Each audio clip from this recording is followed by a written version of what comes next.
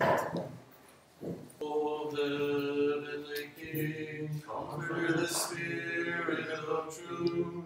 Everywhere present and all things, treasury of good things and giver of life, come and abide in us, and cleanse us of all impurity, and save our souls, O good one. Welcome.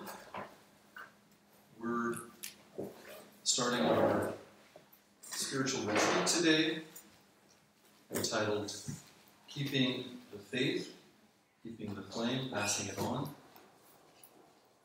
Our speaker today is Father Silouan Thompson, uh, missionary to the Philippines. Uh, Father Silouan grew up all over uh, in a military family. I guess New Jersey is probably the bulk of the youth. Um, but in his adult life, he was in the Northwest and uh, became a member of uh, St. Silouan Parish in Walla Walla.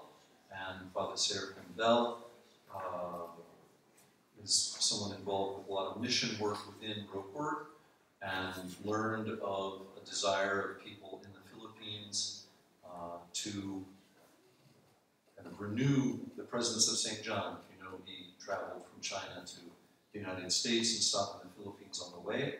Uh, and so Father Silouan a couple of years ago answered that call to be a missionary in the Philippines. Um, and we're happy that he's with us here today. So, Father Silouan.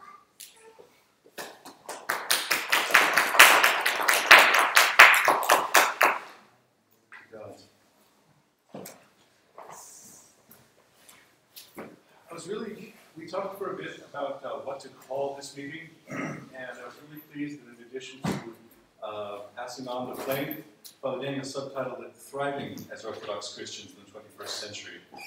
Uh, because a lot of the talk I've seen on the internet lately has been more about surviving as Christians. In this great age of coming barbarism, how will we as a faith and as a community and as a culture, how will we survive? How will we have any Christian children? Will, when the Lord comes, will we find faith on the earth? And I've always thought that was a really low bar to set. Uh, we'd rather, rather than survive, I would like to see us thrive as Orthodox Christians. Um, I'll talk about that in a second. Uh, we've just finished Pentecost. We, uh, where do you even begin? Well, let's not. You've heard it for the last eight weeks. Uh, for, at the beginning of the baptism of Christ, the Baptist said, I'm baptizing you with water, but one is coming after me. I'm not even worthy to untie his shoes. I'm baptizing you with water, but he will baptize you with the Holy Spirit and with fire. Therefore, bring forth fruit worthy of repentance. And at the end of the Gospels, in Acts, just before his departure, the Lord said, You were baptized with water by John, but soon you will receive the Holy Spirit. And when that happens, you will be my witnesses in Jerusalem, Judea, Samaria, and all the earth. I think those are bookends to what the Christian life is meant to look like bearing fruit and bearing witness. Uh, neither of those things looks like uh, cringing in the face of a society that hates us or a society that thinks we're foolish. We've, there's a lot of talk in, in my Christian circles. I've, I've been a follower of Christ for something on the order of 30 odd years. I've always heard the expression, well, we're in the world, but we're not of it. That's a, that's a fine expression. Uh, it's really cherry picking something that Jesus said, and I don't think it's a very fair, uh, fair way to summarize it. In John 17, he says to the Lord, and footnote, this is from the pastoral prayer, prayer of Christ in the Gospel of John. Uh, that prayer takes up something like a quarter of the length of St. John's Gospel. It's not an afterthought. Uh, a, a person who's minded to do so could write books on just the the high priestly prayer of Christ. At one point, he says to the Father, I have given them thy word, and the world hath hated them because they are not of the world, even as I am not of the world. I pray not that thou shouldst take them out of the world, but that thou shouldst keep them from evil. They are not of the world, even as I am not of the world. As thou hast sent me into the world, even so have I sent them also into the world.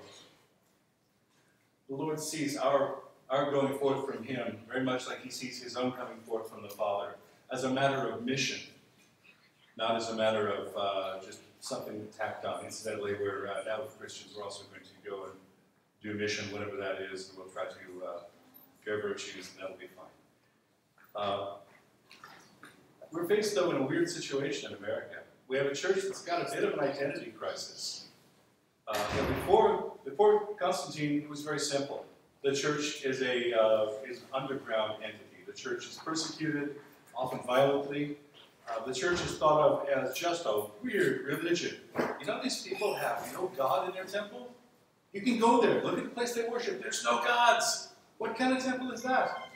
These Christians, I've heard they have a sacrament where they eat flesh and drink blood, and they have love feasts. Come on, what can that even mean?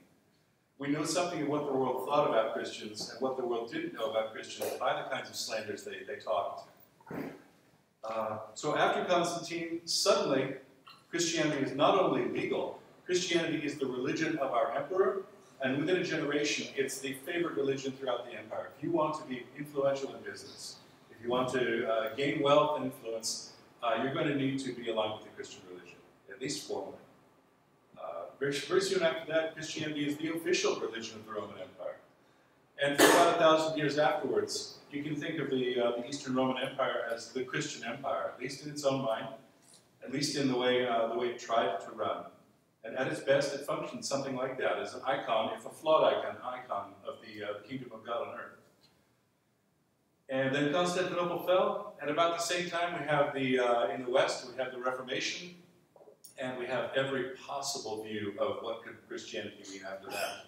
Now, we're in the USA, so Protestant views of what does church mean are actually relevant to us. Because most of us, along with what we hear in the church and what we grow up confessing in the creeds and in the hymns of the church, we also learn from our culture a certain language of what Christianity is, what the church means.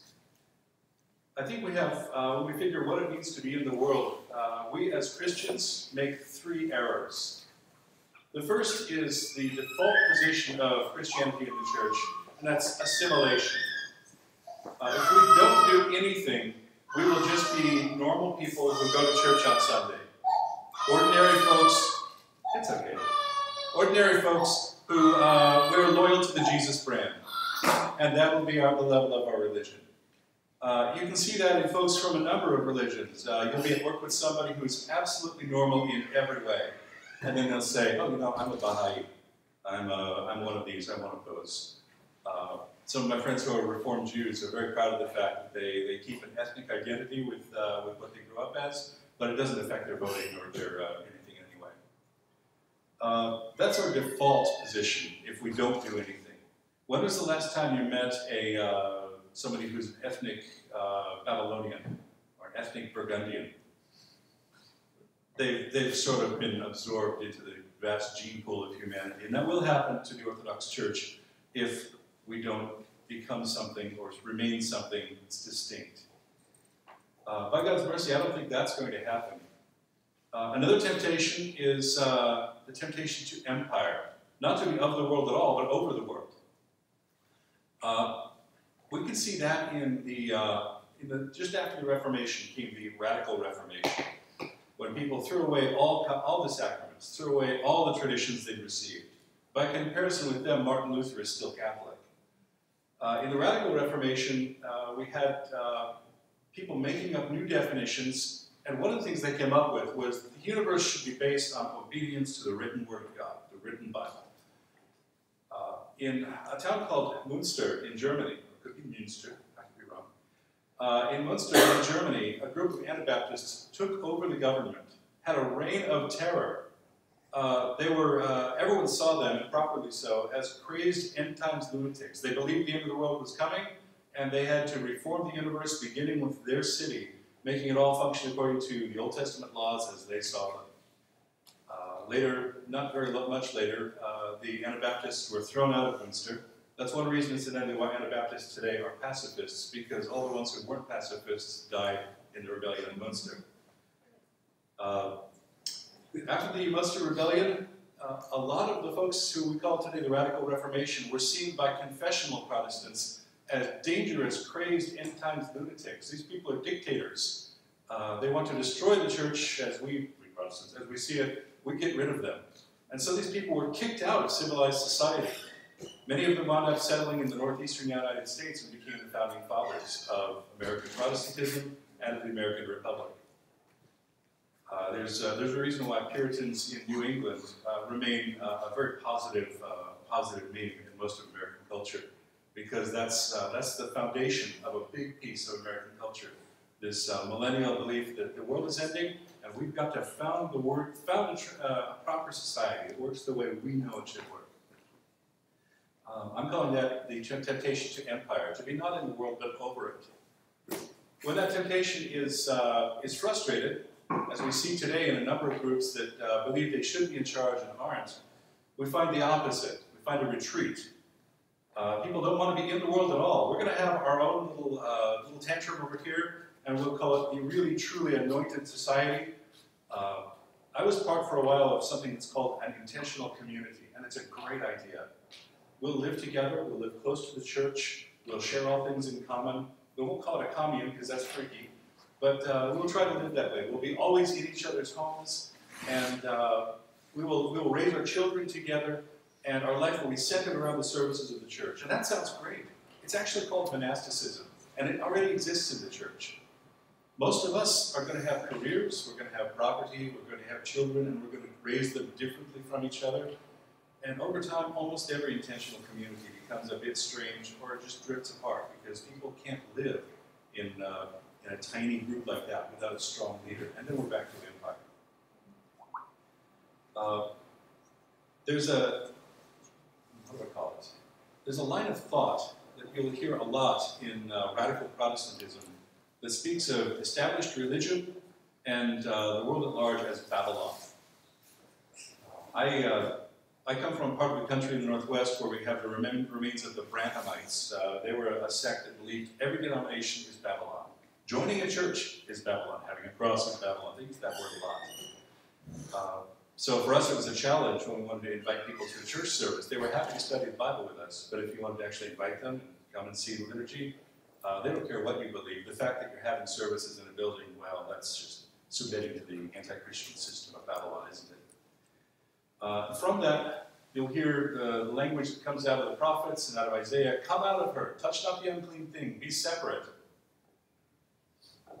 when we look at uh, groups that are trying today to, to find an option where they can raise their kids and pass on a, uh, a tradition or a legacy of godliness, uh, they tend to fall into that mindset where the world is Babylon, and we need to somehow find purity. We need to, uh, to come out from among that unclean place. And that's not really a diversion from uh, what we're here to talk about, because uh, Babylon has two meanings in the scripture. You remember, uh, if you've read that uh, about 600 BC, the, uh, most of the Jews were deported from their land to the country of Babylon. The wealthy, the priests and Levites, the merchants, the influential class, everyone who wasn't needed to work the land was uh, relocated forcibly to uh, the area of the city of Babylon. And their country was not repopulated like Israel to the north was. Their country lay mostly empty, with uh, fields being worked, but cities half empty. The temple was destroyed, nobody worked there. Uh, while they were there, the Jews were rightly uh, full of anguish. They wrote uh, Psalm 136 that, uh, that, we sing every year around Lent. By the waters of Babylon we lay down and wept. We hung up our harps in the trees. And they said, Sing us some of those songs you sing in the temple in Zion. How can we sing the Lord's song in a foreign land? And they kept alive nostalgia for what they lost. If my right hand forgets you, Jerusalem, if, my, if I fail to set you as my joy, may my tongue cleave to the roof of my mouth. And uh, so the Jews, uh, the Jews kept alive in themselves for 70 years this nostalgia. We have lost something. And at the beginning, just before the beginning of Lent, we have the services where we commemorate the, uh, the Last Judgment and the casting out from Eden. And we sing that whole hymn at, at Matins, including a shocking ending that says, just like you paid us for Babylon, we're going to pay you back with violence.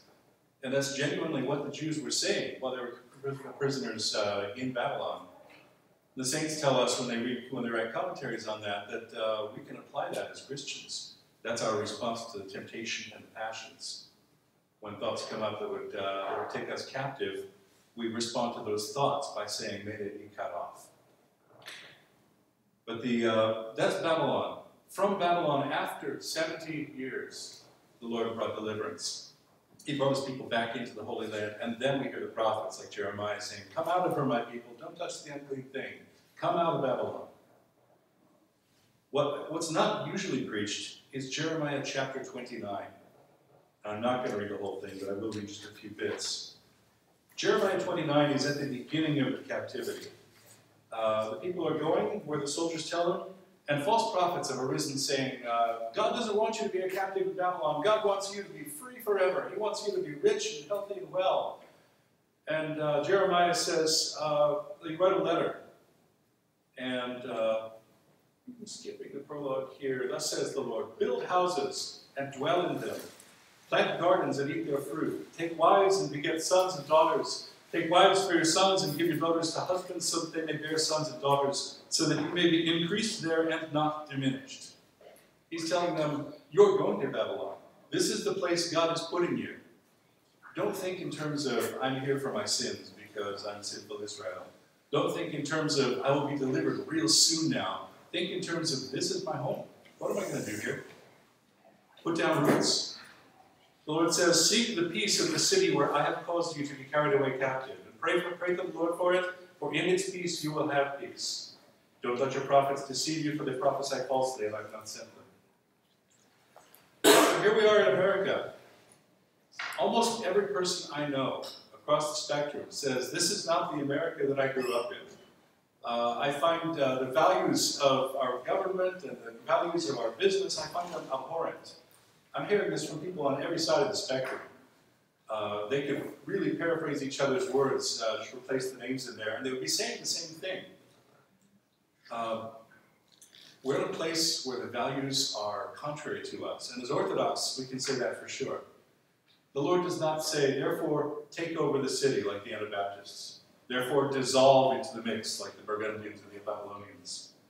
He doesn't say, uh, form, retreat into a little community where you can practice purity. He says, here and now, in your place, in your community, build homes, take wives, uh, bear sons and daughters that you may be increased there and not diminished. Then he says, line that uh, most of us know if we've read Jeremiah, for I know the thoughts I think toward you, says the Lord, thoughts of peace and not of evil, to give you a future and a hope. If, you, if that's one of those verses you memorize from Little Bible Promise Box at some point, this is the context. He's saying, I am putting you in a place that is opposed to you, that you may prosper there. Then he says at the end of the chapter, then at that time, in 70 years, you will call on me, I will listen to you, I will bring you back from captivity, and I will gather you from all the nations. When I think of Babylon, suddenly I'm loud. When I think of Babylon, that's where I want my mind to go. Babylon is not just a place that is opposed to us, but it's the place God has put us. In uh, 1 Peter, he refers to, uh, he says at the end of uh, the first, at the end of the fifth chapter, she who is in Babylon, elect together with you, greets you. And the fathers tell us that he's referring to the church at Rome. He calls Rome Babylon because it's the chief city that rules the world. Uh, and he says, uh, She who lives in Babylon, who is elect together with you, greets you. It's a casual reference to the exile that the church lives in. St. Paul in Hebrews, in so many different ways, says, You guys are strangers, you're aliens, you're, uh, you're expatriates living in a country that's not yours. And that, that's meaningful to me as an expatriate who lives in a country that's not mine. Uh, in fact, in the Philippines, there are things that are legal that I cannot do here in the States. Uh, I can drive with an open container of alcohol. Nobody cares. Uh, but I'm subject to the laws of my country. That's not exactly a felony, but any crime I committed in the, in the Philippines that's a felony in my country, I'm liable for when I return. Uh, if you're a Filipino, where we have no divorce, it's not in the law, you can come to America, divorce and remarry, and you're fine. But if you return to your home country, you'll be on trial for bigamy because your old marriage cannot be broken. The laws of your home country take precedence. Well, as expatriates, as uh, refugees, people in this world, in this country, the laws of our country have got to take preference. So in, in America, I can hold a grudge against you. I can dislike you. I can dislike your whole ethnicity. I can slander you, gossip about you. Uh, I can do all this stuff, and it's perfectly legal. Most countries have no laws against these things. But we've got a king who says those things aren't going to be permitted in his kingdom. And we're citizens now of that kingdom. St. Peter says in 1 Peter chapter 2 You are sojourners and pilgrims. I've got the whole text here. Beloved, I beg you, as sojourners and pilgrims, abstain from fleshly lusts which war against the soul, having your conduct honorable among the Gentiles, so that when they speak against you as evildoers, they may by your good deeds and good works they observe glorify God in the day of visitation. When they slander you, at some point somebody's going to say, Well, you know, that guy, I saw him doing the following. I heard him say the following. And your other neighbors, your other coworkers are going to say, You know, that doesn't sound like him. That guy, uh, I may not like his religion, but he's got integrity. He does what he says, he walks the talk. And their accusations will fall because your neighbors will see your good works and glorify God. Here goes on and says, Therefore submit yourselves to every ordinance of man for the Lord's sake. To the king is supreme, to governors, for this is the will of God, that by doing good you may put to silence the ignorance of foolish men. Be free, yet not using liberty as a cloak for vice. As bondservants of God, honor all people, love the brotherhood, fear God, honor the. That's especially difficult when you have a king like Caesar who is out to kill you. When St. Paul wrote Romans, Romans uh, 13, be in submission to governing authorities, he wrote that from a prison cell where the cruel, godless Roman state was about to have him beheaded. He was not writing from a place of, of privilege, saying, as long as the government's not too harsh and doesn't impose taxes on your tea, then submit to the king. Uh, so we live under a government which could be worse, but we live under a government that doesn't share our values. And St. Peter says, uh, living as he does under the Roman authority, he says, honor the king, obey the government. In every law that's not counter to conscience, be submissive to the law. I don't like that. I would really rather be able to wear my rebel hat and say, I have no king but Jesus. But, you know, okay, so I'll drive 90 on the freeway and uh, with an open container, because why not? I have no king but Jesus. Uh, surprisingly, the Lord looks down on that. Why? One reason, and not the only reason, but one reason, is so that your good conduct, consistent integrity, will put to silence the accusations of those who slander Christians. So, to unpack a little bit more, what does a Christian life look like? I'm going to look at two non Christian writers in the second century describing those scandalous Christians. Pliny was uh, a governor, I think in Bithynia. Anyway, he was a governor in a Roman province who wrote to the emperor saying, uh, I've got these Christians, they're coming out of the woodwork, so here's what I've done about them. Now, incidentally, I tortured some of them to find out what they believe. Here's what I found out. Pliny says they meet weekly, they worship Christ as God, then they share a meal, they sing hymns, and they bind themselves with an oath, which is it's a Latin way of saying they're bandits about to take an oath to do some some scandalous thing together. They bind themselves with an oath to commit no theft or adultery, nor break their word, nor refuse to return deposit. This superstition is spread like a contagion, not only in the cities but and the towns, but in the country villages also. Uh, all, all Pliny knows that these guys have character, and I hate it. They're not normal. You know, normal people worship the city's gods. They support us in our civic efforts. They, uh, a piece of Caesar, piece of incense to Caesar. Uh, these Christians, we call them atheists because they won't worship any of our gods. Uh, these Christians, uh, despite all I can say against them, they have good character. Uh, Lucian writes in 150, they persuade themselves, and this guy is a satirist. He's writing to try to uh, say something sarcastic. They persuade themselves that they shall be immortal and they live forever, so they despise death. Some of them offer themselves to it voluntarily. Their lawgiver taught them that they were all brothers. They worship that crucified philosopher, and they live according to his laws, so they hold all their possessions alike as worthless and consider all their property common. These people, they're living selflessly and uh, putting eternity before their immediate needs. They're crazy. When, when the evangelical Orthodox group came into the Orthodox Church in 1987, I think it was, uh, a friend of a friend heard uh, Archbishop Anthony say, That sounds good, but I will believe it when their grandchildren celebrate Pascha together with our grandchildren.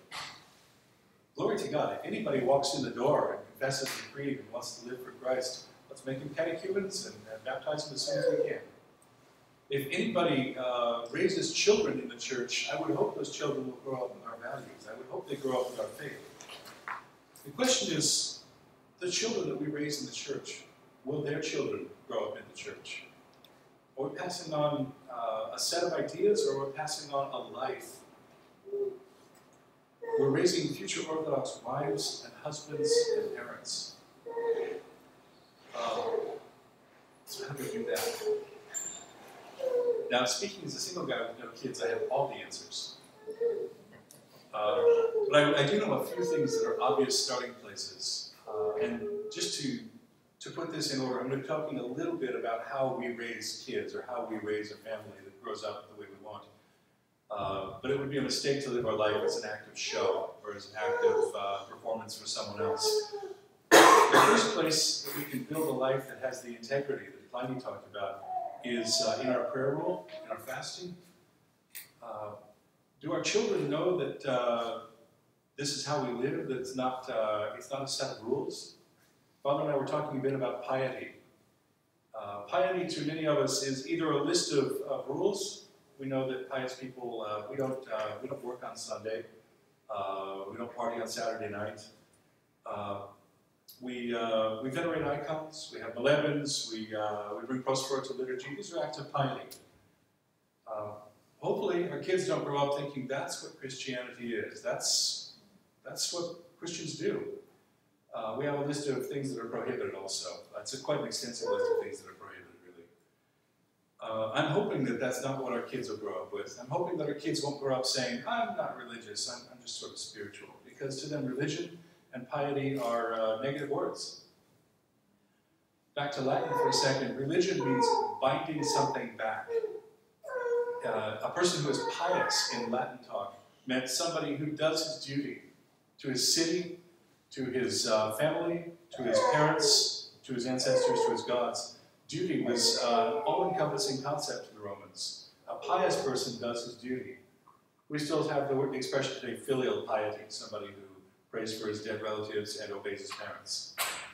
Uh, religion, uh, what does St. James say? True religion, pure religion and acceptable by God the Father is this, to visit widows and orphans and indeed keep oneself unspotted from the world. Uh, I'm hoping that uh, the religion that we're passing on to our children, that we're showing to the world, and that we're tra being transformed into, is a religion of character, a religion of integrity. Uh, in the end, piety is, is not about commands and prohibitions. It's love with its work clothes on. Uh, it's love that gets its hands dirty. do, uh, do our kids know that, our parent, that their parents love each other and them? Do they see their parents visibly showing affection to each other, showing humility to each other? Everyone disagrees with everyone at some point. Do we do it with respect? And when we're done, do we, uh, do we act and do we humble ourselves before one another? I was aware of some nuns who came to a community. Uh, they, uh, they came, and some of the people thought, well, you know, nuns are strange, we're not sure we trust them. In the kitchen, setting up the food, somebody thought one of the nuns had taken, uh, taken the food that they brought. And they accused the nun, saying, she ate my, whatever it was, my casserole, she ate my muffins. Uh, and the nun just gave her prostration, said, please forgive me. Everybody thought it was strange and moved on. At the end of the meal, they found the muffins. She, hadn't taken them. But the nun knew, if you're accused, ask, ask forgiveness. If you find yourself accusing, ask forgiveness. It's amazing what uh, simply humbling ourselves and asking, how can I do right, uh, will we heal things. Uh, I'm hoping that not only our children will see us do this, but our coworkers and uh, the angels who are actually watching us as we do stuff in secret. Are they watching our heart become humble? Uh, serving one another. Uh, things I read just now. Oh, have you ever seen the wedding service? Sure you've seen the wedding service. Do we say, women submit to your husband and stop? We start the verse before that with, be in submission to one another. Then wives submit to your husbands, and husbands, give up your entire life for your wives. That's the kind of relationship in which a woman might consider submitting to her husband.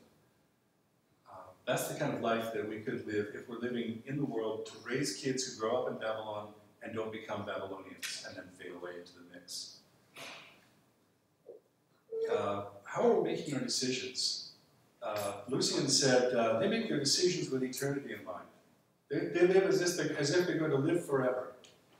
Uh, so we have our career choices. Uh, do we go on vacation? Uh, we have a living situation. how does eternity figure into that? Now, I'm a missionary. Here's my chance to pretend I'm really virtuous. I've lived for a long time in good houses, nice apartments, uh, and every time I've wondered, is this is this an appropriate use of the, the money God's putting in? Uh, I've had a few places I've lived where I just didn't feel like uh, I don't know that I need to spend as much on this nice a place. Uh, so I downsized at least once into, into places where I could uh, still live most comfortably, but have more to provide for the church, more to provide for, uh, for the poor. Uh, I can see the lights are on here, so I'm guessing you guys are tithers. Thank God for that. Somebody in the church is contributing. Uh, there's food on Father's table. This is wonderful. Uh, this suggests that uh, you guys are taking care of the needs of the parish financially. Uh, above and beyond that, I'm sure you're giving to missions because I've received generous gifts. Uh, I'm sure you're taking care of the poor. How that figures into your decisions and your, the way you live your life is something that nobody can dictate to you. There's, uh, there's no controlling leader who's going to tell you that you have to give this much percent to the church or to the charities. Uh, but if, uh, if you're living like somebody who's going to live forever and be accountable for, uh, for how that money works, uh, I'm sure that's in your decision process because we're setting down roots in Babylon.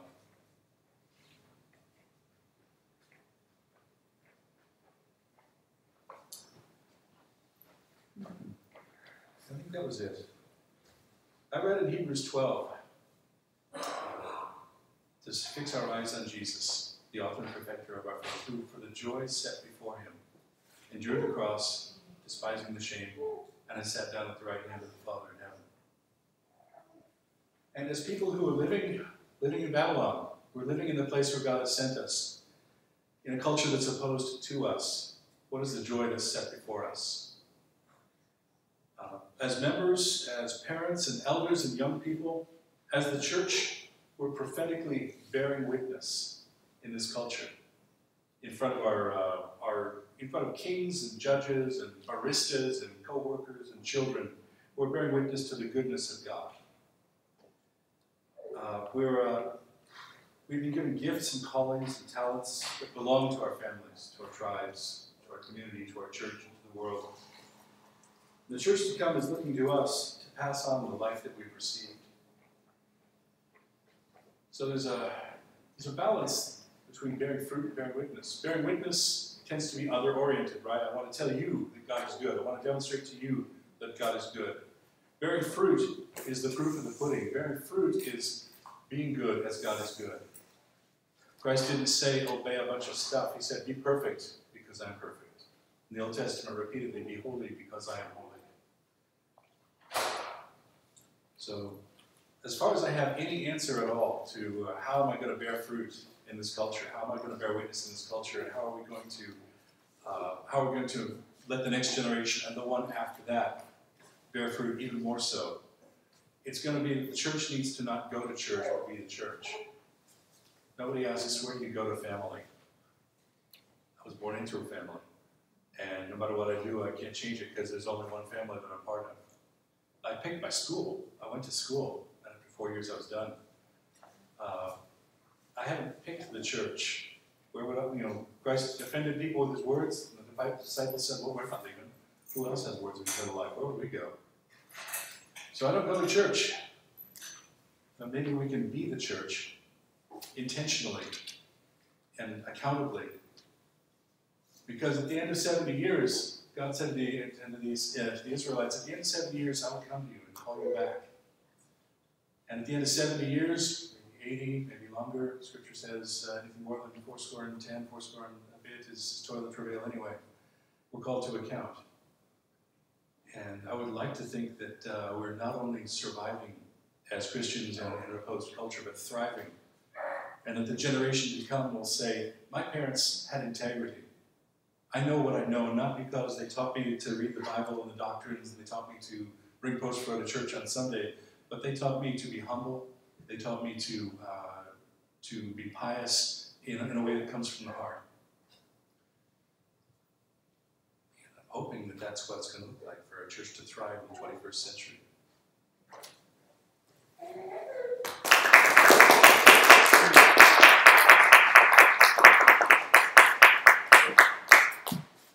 Thank you. So let's uh, let's get your input because there's a couple things we can do here. What else is going to happen today also kind of reflection on this topic. And then my thought had been after that to have just a real discussion um, about among everybody that's here, because Father Silouan and I, we have our own perspective. We have the things that we see and know, but each one of you confronts and considers and lives with each one of these issues in your own life. And doesn't mean that simply because we wear black that somehow we know better um, or that we have all the experience. The church as a whole is everybody. So I'd really like to have a discussion following that. So we can do a couple things. We've got some wonderful snacks out. We can take a little break and have some snacks. We can ask Father Silouan some questions based on his talk right now, or we can save it for later. What would people like to do? You want to have, have questions toward at the end, or you want to have some questions I don't mind continuing the discussion. Okay, let's do that then. That's what So Father Father Silva Silouan, said. come on back up and, and we'll ask questions of Father Silouan. I also don't know how long- how long my kids are gonna last, so that's, that's kind of a selfish thing. Um, Hello, uh, thank you for your talk, that's, uh, my name is Andre, I'm actually, um, uh, uh, from Canada, visiting this parish because I have family, Whereabouts? uh, Ottawa, Canada. Okay. Um, and I guess that's sort of a intro into my question, uh, because, uh, talking about, uh, soc- society that, uh, you, you discussed, you know, we, live in a society that does not share our values, and, uh, in Canada, we're, I think, maybe 10, 20 years ahead of the US, uh, in terms of, uh, the, going down the road of post-Christian society, whereas, whereas in the US, yeah, still have division over issues of, you know, of, uh, so of Christian values issues in Canada and, you know, Western Europe here, we're kind of getting to the stage, or we've gotten to the stage, I would say, where, uh, Christian opinions are not just minority opinions, they're unacceptable opinions when it comes to issues like marriage or abortion, or, for example, uh, that, that, that sort of thing. And, um, uh, just, uh, not to take too long, but just, uh, you know, uh, uh, um, a few days ago, news coming out of our home province, Ontario, I, I was discussing this with, uh, Father Daniel the other day, that, uh, they've changed the, uh, adoption laws such that, uh,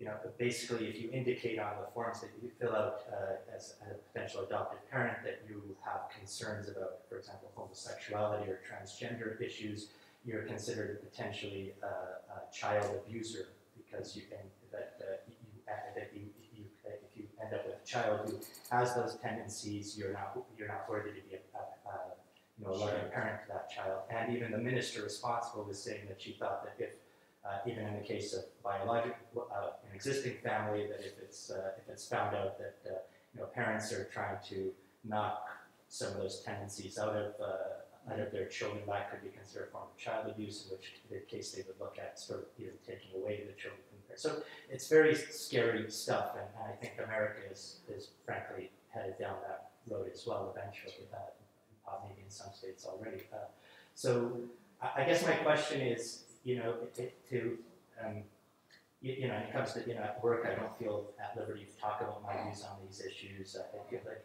to what extent really do we have to, my, my tendency as a coward is just to lay low and, and not say anything and not, sort of when people talk about these issues, not, uh, not let my views be known, not, uh, and certainly not let, uh, you know, anything be said that uh, could raise attention to, uh, the powers that be about the way I, I raise my children. But I guess, strictly speaking, from what I understand about what we're supposed to do as Christians, we're supposed to seek out martyrdom. And, and like, so, what, like, how am I? Is it right to be a coward in these circumstances, or is it? Uh,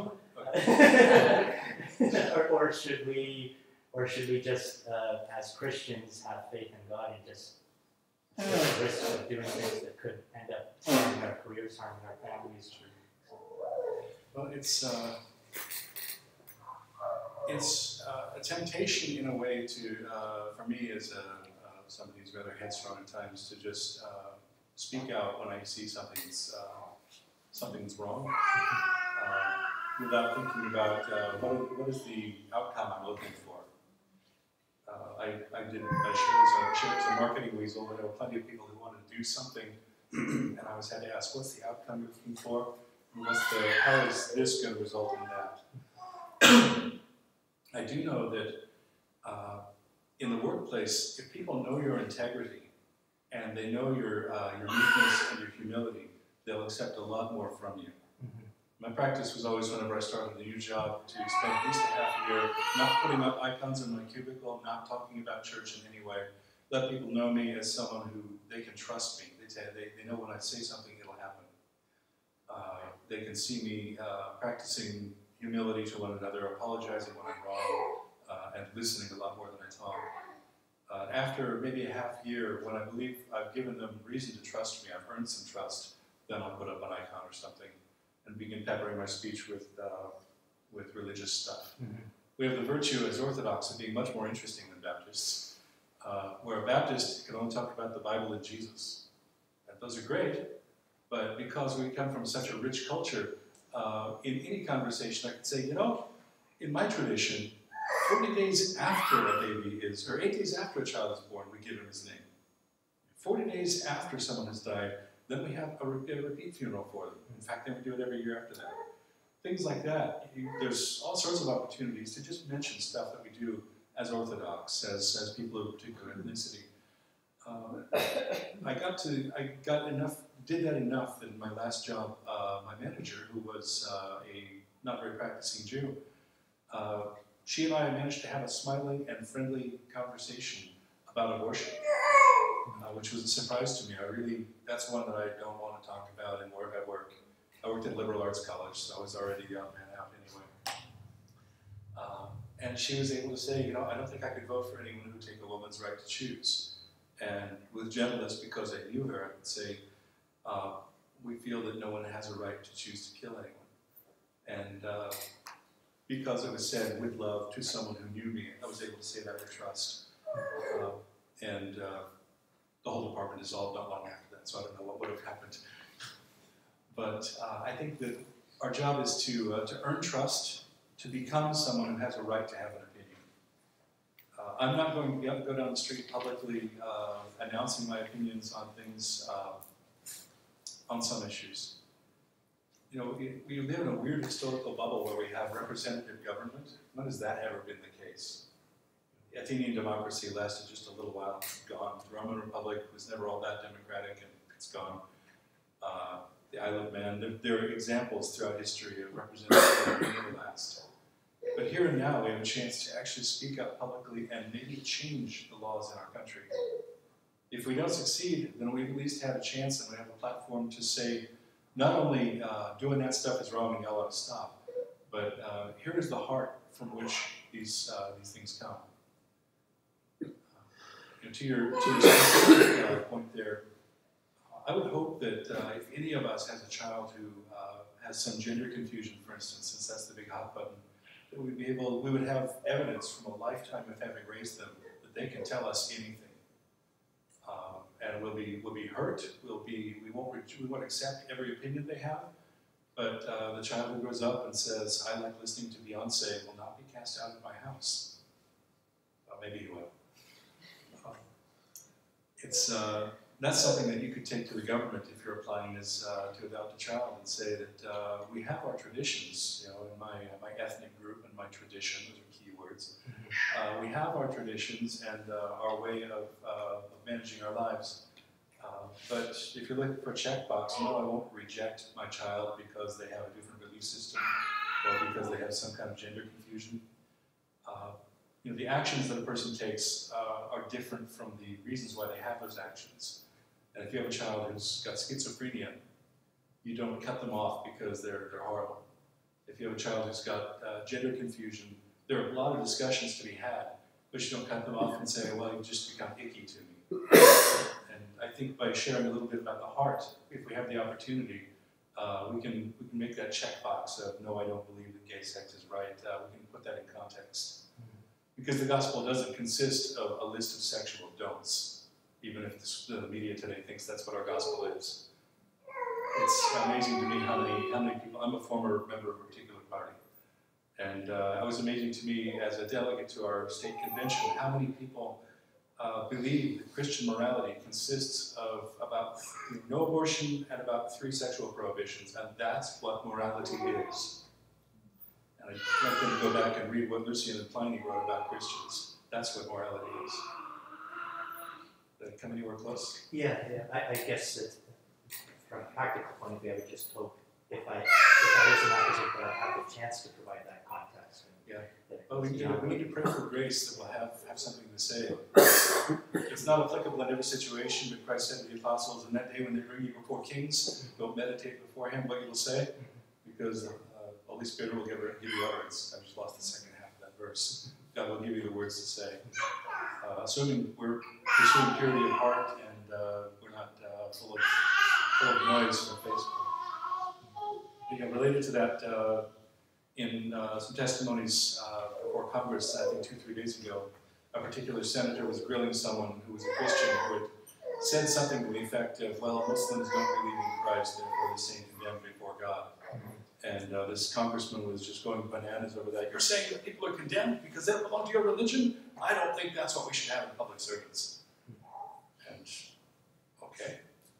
Um, if my belief system makes me unacceptable as a, as a um, servant of the public, then uh, I think we have some real opportunities for dialogue. We have some real opportunities for a uh, humble and winsome pres- presentation of the heart that goes into what we believe. Uh, plus, we can use some more nuanced presentations than uh, Muslims stand condemned. How about God loves Muslims and is calling them to Himself, and they're looking for people to demonstrate the character of Christ to them? Anyway, you were going to say something? Um, well, actually, I was going to ask you to repeat what you said about St. James. St. James, I think it's chapter 1, verse 27. He said, uh, True religion, you might have the Bible. Let's see if I get this right. Pure religion and acceptable before God the Father is this to visit widows and orphans in their need and to keep oneself unspotted from the world. That's pretty close to verbatim. And Um, I guess I was kind of curious your particular mission. Um, we're around here in the U.S. I know widows, but we don't have a lot of orphans. But in your mission, do you encounter both, and how are they treated in society? There's, we have a few orphans. They tend to be taken up by families, relatives, or relatives. Uh, there's one kid who was abandoned by his parents uh, when he was about 10 years old in the marketplace because he's a little mentally different. Uh, I haven't got the, uh, the mental health skills to sit nail down exactly what, but he's a little odd. Um, and he lives with a couple of families at our, at our area near our church. And as often uh, as not, a few times a week, he'll come by my house just asking for money and food. He doesn't give me money, but I've always got rice in the rice cooker, and anybody who comes by, I serve him a meal. Uh, so I take care of him in that way. Uh, he hurt himself once, so I took him down and we, we got him physically taken care of. Uh, now he's about 13, 14, um, and he's not really able to grasp the concept of work. I don't know at what point uh, you stop thinking of him as an orphan and start thinking of him as a layabout. Uh, I've been trying to suggest to people that a person with, uh, our word is waligwot, uh, he has no, no good sense. a person is congen- congenitally without good sense. I think of them as somebody who's missing feet. Uh, have to expect everything they can give, but we have to make allowances too. It's hard when you can't see what the difficulty is in somebody. Yeah. And, but um, It's, it's important, I think, you know, in the church, folks can come, quit coming to services for a while, and somebody will send an email saying, hey, hope you're all right. Uh, It's so much more important for us to put feet to those concerns and go and, uh, thank you, to visit the widows, the orphans, the the ones who are housebound, the ones who are having uh, a crisis. They don't feel like the church can address it. Uh, They may not feel they're getting anything useful out of sermons, but somebody comes to the door and just says, Hi, I wanted to bring you something, bring you some food, to just come say hello. And they consistently do that. I know people who are in, who are in great pain. They don't really want somebody to come and be compassionate to them or show them sympathy or whatever. But we earn the right to do, to do so by demonstrating our love. I think that that is, for me at least, when Bishop Peter was here, he came and he, at the end of his sermon, he said, so go out and spread the feasts with, um, we had the Feast of St. George here that day, and it was still the Paschal season. Go out and visit those elderly people, the sick people, the widows, and Yeah. bring the joy to them, those people especially who cannot come to church. And here in America, you know, I don't have a job right now except for taking care of my family. And so I don't encounter people on a regular basis who are not Orthodox. Unfortunately, my intention is to surround myself with more Orthodox people than non-Orthodox. Yeah. But um, it's easier for me to encounter elderly people and to visit them at the nursing home or wherever and to kind of like nudge them a little bit in a missionary way, showing them kindness. Um, I was part of a group for a while that went to uh, the nursing home near me, and we brought an old 1930s hymnal. And there was very little in there that was doctrinally objectionable. Some of it was doctrinally stupid, you know, it's okay. Um, but we went down there and we just sang all the old 1930s, 1940s hymns, and the old ladies loved it. Uh, after we'd spent 15, 20 minutes singing Shall We Gather at the River or whatever, uh, then we'd just go sit down with them and have the same conversation every week because they less slowly beginning to realize we it before. But that was, uh, to me, that was an example of a place where, uh, you know, I was born in prison, you came and visited me. Uh, I, I think we have, uh, we Americans anyway, we tend to think uh, in Protestant terms of mission is only effective if it's bringing people to faith in Christ. Uh, where mission really is about uh, bringing grace. What little I've received, y'all are welcome to it. Uh, if I uh, if I can come and uh, make somebody's life less bad, glory to God. I, I look at world systems, the economy in the country where I live, for instance, and just despair. But Christ has never called me to to fix the economy. But He brings me people one at a time with names and faces whose life sucks, or an expression, and I can uh, I can bless them. I can do something for this person. It, it's hard to be around people with problems. So. I shouldn't say that, but I do have a one brother-in-law in particular who my in-laws have tried to get my husband and I to sign paperwork that we would take care of him when they pass away. And it has been a very, very difficult thing to talk about because feel like we're being unchristian and selfish by not wanting to take on his care. But he's Sure. 21 years old now, and it sounds a lot like this young man that you have at your parish. Um, he's schizophrenic and he has a lot of other issues, but we don't really want him around our children on a daily basis because he's very unpredictable. But to take care of him and show him love whenever we can. And if my in-laws pass away and he doesn't have somebody, if he goes to a group home, we would still continue relationship with him. But it's very hard to be around people with difficulties like that. It, it's a cross. Yeah. Um, kind of two questions is uh, well many questions, but along with the question of uh, what's best for your family, what what can you do? And by that I mean what not just what should you do, what can you do? What what is possible for you guys in your current emotional, physical, uh, financial state? Um, I don't really have no answer for that. The other question is uh, what is what does he need uh, in the short term and in the long term? Um, I don't like making open-ended commitments to anything. Uh, maybe that's why I'm not married.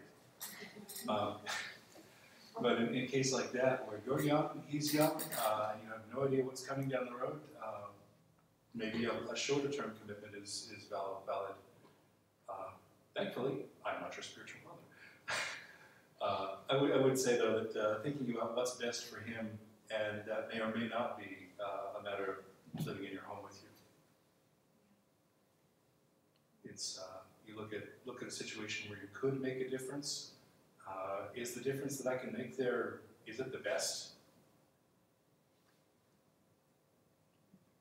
That's, that's not meant to be a question, a rhetorical question with an obvious answer. That's just uh, throw that out there and see what God does.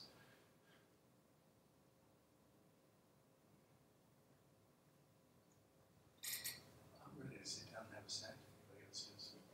So why don't we take five, five minutes and have a little something to drink and eat, and then we'll continue on.